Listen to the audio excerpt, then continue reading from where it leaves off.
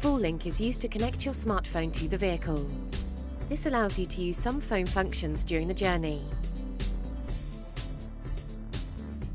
To use Full Link, the contact and the phone must be switched on. Depending on the type of phone, other conditions must be met. Full Link is compatible with the Android Auto, Apple CarPlay and MirrorLink communication systems. Communication systems can only be used with some phones and in certain regions. You can find more information on the SEAT website www.seat.com. If your phone supports the system, you can connect it with a USB cable or wirelessly using Wireless Full Link. On the infotainment display, select your desired type of communication system.